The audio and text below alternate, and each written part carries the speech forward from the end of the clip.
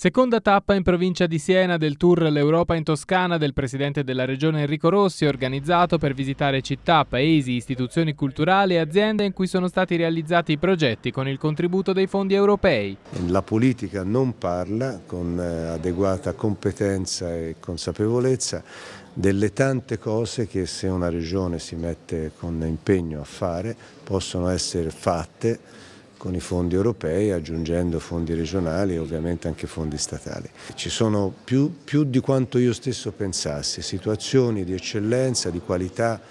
iniziative di innovazione che sono state realizzate con questa, con questa politica che la Regione ha fatto grazie ai fondi dell'Europa. Bisogna farlo sapere anche ai cittadini.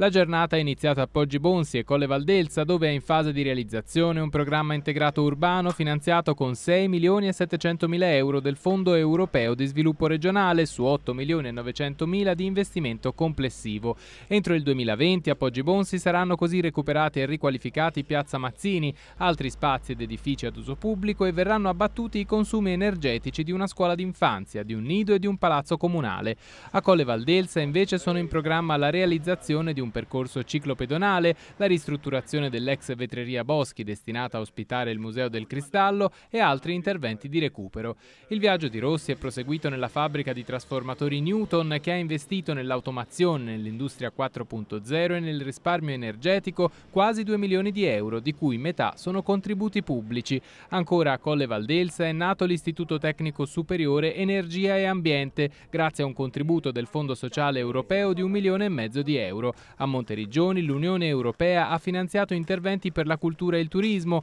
ovvero il restauro della Porta Franca del Castello e il recupero del complesso monumentale di Abbadia Isola lungo la storica via Francigena. Ancora a Monteriggioni è stato finanziato con i fondi europei un progetto di riqualificazione energetica degli impianti per la produzione del freddo dei supermercati simpli. Il viaggio del presidente Rossi ha poi toccato il complesso dell'antico ospedale di Santa Maria della Scala, nel centro di Siena, dove con un investimento di 4 milioni e 700 mila euro, di cui 3 milioni e 300 mila sono fondi pubblici, sono stati recuperati spazi espositivi e un tratto dell'antica via Francigena inglobato nel complesso. Poi è stata la volta del Polo Toscana Life Sciences, ente che sostiene la ricerca nel campo delle scienze della vita e che nel suo distretto, grazie ai contributi europei, ha sviluppato molti progetti progetti come il Decavil, un farmaco contro l'artrite reumatoide. Infine lo stabilimento Cassioli di Torrita di Siena, azienda che fornisce prodotti e servizi per la logistica integrata